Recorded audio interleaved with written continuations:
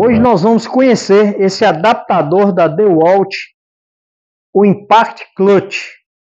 Esse é um adaptador muito robusto, vocês vão ficar impressionados com ele. É um adaptador que já foi criado há mais de 10 anos atrás, portanto ele está no mercado há um bom tempo já. Esse adaptador foi desenvolvido para unir chapas de metal. Dá para usar em madeira? Sim, é até interessante o uso em madeira. Eu vou mostrar para vocês nos testes mas ele foi especialmente desenvolvido para unir chapas de metais. Quem trabalha com esse tipo de parafusadeira de impacto, que tem uma força muito grande, e utiliza esses parafusos autobrocantes, e utiliza os adaptadores comuns, sabe que a quebra de bits é muito grande. E esse adaptador aqui, ele tem uma embreagem interna e vai fazer que seus bits durem cinco vezes mais e que os parafusos quebrem cinco vezes menos.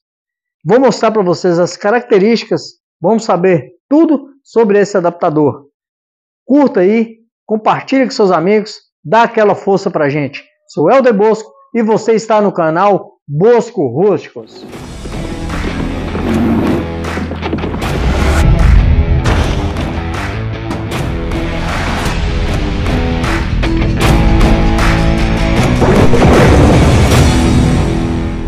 Bem, pessoal, esse é o nosso adaptador da DeWalt, o Impact Clutch. O código é o DWHJHLD. Como eu falei para vocês, é um adaptador que possui aqui internamente uma embreagem de impacto. Essa embreagem minimiza a quebra e o desgaste das brocas e minimiza a quebra dos parafusos, dos fixadores. Quem trabalha com telhado de zinco é muito interessante ter um desses aqui, tá? O que, que ele faz? Ele transforma a sua furadeira de impacto com furadeira de impacto com um controle no final do torque. Quando ele está penetrando na peça, é, geralmente quando você usa esse adaptador comum aqui, quando ele está penetrando na peça, chega no final da peça, ele continua girando e o bit quebra, porque ele vai forçar lá na peça, principalmente a peça de aço, né? Ele vai forçar o bit quebra. Aqui não, ele faz tipo um controle de torque, a que chega no final da peça, se ele estiver ligado aqui, ele tem as posições aqui, ó, on, off, ligado e desligado. Quando ele está desligado, é um adaptador normal desse aqui. Quando ele está ligado, aí sim, o sistema clutch dele funciona, aí ele fica girando Chega no final lá do aperto, ele fica girando e não quebra o bit e não quebra o parafuso. E também evita de danificar a ponta do bit aqui também. Eu não tenho as informações da engenharia interna, o que, que tem aqui dentro. É, como eu, eu, fiz o vídeo para vocês desse aqui da Crescent, esse aqui, eles forneceram para a gente, né? a gente tem tudo que tem internamente aqui, o funcionamento dele interno, mas esse aqui eu não tenho a engenharia interna dele. Mas o que eu posso afirmar para vocês que ele dá para usar em madeira, sim, eu vou mostrar o exemplo para vocês, mas o uso dele ele foi desenvolvido mesmo para unir chapas de metais, tá? Quem trabalha com metal, unir chapas finas para não quebrar o bit. Vamos fazer os testes e conhecer mais um pouco sobre esse adaptador. Então, pessoal, vou colocar esse parafuso aqui na madeira primeiro aqui com o adaptador comum né? Que é o que a gente é acostumado a usar na parafusadeira de impacto e na velocidade 3, a máxima. Só para a gente ver o que, que vai acontecer aqui e vocês vão analisar e tirar suas próprias conclusões. Então vamos aqui, ó. Primeiro nós vamos colocar aqui com esse adaptador tradicional. Vamos lá, ó. Vocês já viram que afundou lá para dentro. Olha só o que aconteceu. Afundou o parafuso lá para dentro, certo? Então, agora nós vamos colocar com o nosso Impact Clutch. Então, pessoal, agora nós vamos usar com o nosso adaptador. Vamos ver como que ele funciona. Eu vou primeiro, vou usar na função off, para a gente ver o que, que acontece. O que, que acontece? Ele não afunda na madeira. Olha a diferença. Você viu aí que ele ficou girando, girando, não estragou a cabeça do parafuso e não afundou na madeira. Deu para vocês verem a diferença aí? Olha no, no tradicional aqui como que ficou, como ficou o parafuso, olha a profundidade. E se eu continuasse ali afundando mais, aqui ele não ultrapassou a parte plana da madeira. Vamos mudar aqui. Vamos desligar a função só para vocês verem como que é o funcionamento. Olha só.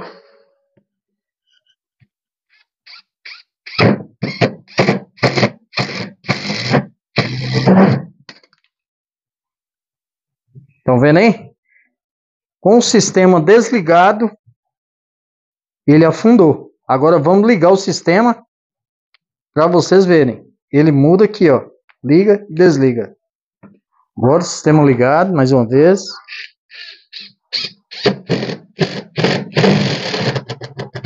Olha, ó. Chega no fim, ele não afunda. É bem interessante. Agora eu vou utilizar na função dele, que é unir as duas placas de metal aqui, e vocês vão perceber como que ele vai agir, tá? Primeiro, vou colocar aqui esse metalon com essa chapa para a gente poder estar tá unindo aqui.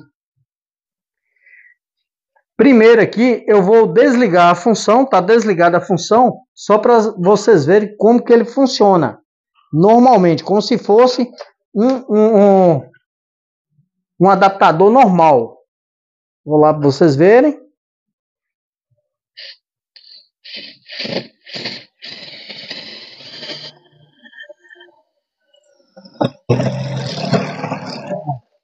Tá vendo?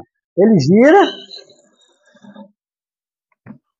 Estraga a borrachinha, tá vendo? Perde a rosca. Tá vendo? Olha só para você ver o que aconteceu. Se você continuar forçando. Agora eu vou ligar o sistema. E agora a gente vai ver como que vai funcionar. Agora está com o sistema ligado aqui, ó. É outra coisa. Olha, reparem bem no final aqui do aperto.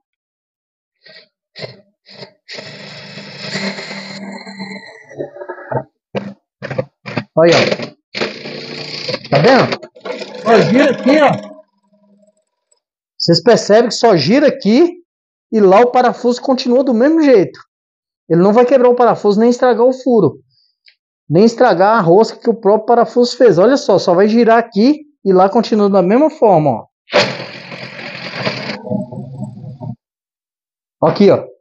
Continuou do mesmo jeito. E aqui, esse aqui, ó, pra você ver. Como se fosse um adaptador comum desse aqui. Faz isso aqui com ele. E isso aqui não faz. Olha só que interessante.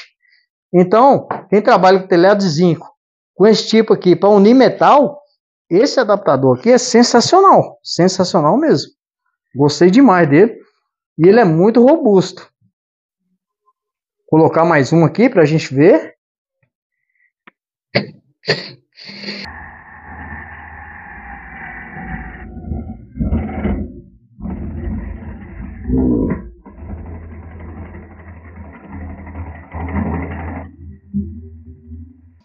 Ela é sensacional. Não danifica, não danifica. Esse adaptador aqui, para falar francamente para você, se você tiver uma parafusadeira como essa, ele substitui a parafusadeira que eu até fiz o vídeo, vou deixar o card em cima, que tem o sistema de clote na frente, sistema de embreagem na parafusadeira. Então, você tem um parafusadeira comum desse e comprar um adaptador desse aqui, nossos bits e seus parafusos vão durar muito. Ó, pra você ver a perfeição aí que ficou é, esse parafuso. Olha só. Enquanto que esse aqui, ó, como foi feito normal, olha só como é que ele ficou com um adaptador normal. A diferença é muito grande. Olha aqui, não estraga a borrachinha. Não estraga a borrachinha. Então, esse parafuso foi desenvolvido para isso. E na madeira também, dá para usar, como eu mostrei para vocês. Se você usar ele, você não vai afundar o parafuso na madeira. Olha só, é impressionante. Olha que chega aqui, ó, ele fica lisinho, rente com a madeira, um acabamento bem bacana. E do adaptador normal, se você não conseguir controlar na mão, você afunda lá para dentro. É bem legal isso aqui. Seu peso é 108 gramas. É bem robusto, muito pesado. E seu tamanho final aqui é 8 centímetros e meio. A diferença entre os dois praticamente é a mesma funcionalidade, mas esse DeWalt aqui para aço ele é melhor, ele é mais robusto para quem trabalha com esse tipo de coisa, ele foi desenvolvido para esse tipo de coisa aqui. Esse aqui você consegue usar na madeira tranquilamente. Esse também dá para usar na madeira, mas ele foi desenvolvido para usar em aço. Então ele é mais robusto do que esse aqui. Só que esse aqui afirma que seu bit vai durar 500 vezes mais. Assim, esse aqui afirma 5 vezes só a mais. É uma coisa impressionante o que, que as fábricas falam. Mas eu gostei muito desse aqui para aço e esse aqui para usar em madeira. Todos dois são muito legais, mas esse aqui eu achei mais robusto, da DeWalt. Principalmente para quem faz esse tipo de serviço, telhado de zinco, é, quem trabalha com união de chapas de metais. Mas é isso que eu queria mostrar para vocês. Muito obrigado mais uma vez. Agradeço de coração aí por terem assistido o vídeo. Espero que tenha gostado. Até a próxima vez. Tudo de bom, amigos. Um abraço.